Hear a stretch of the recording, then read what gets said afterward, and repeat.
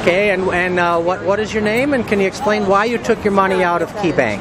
Sure. My name is Denise Green, and uh, I took my money out of KeyBank because I finally learned that banks are not actually what I thought they were. Credit unions are what I always thought banks were.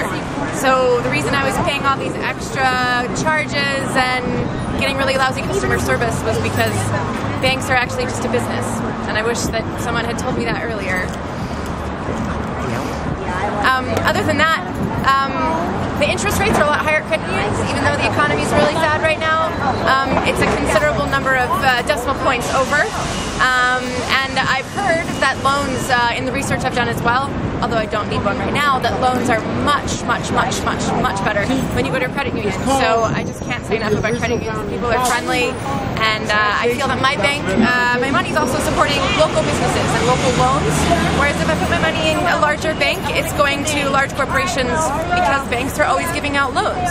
Um, so now I feel confident that I'm supporting local businesses that are going to my credit union for loans, and that makes me feel really good because I feel like even if you have a little bit, your money is a sense of power right along with your vote, and so you have to put it where you want it.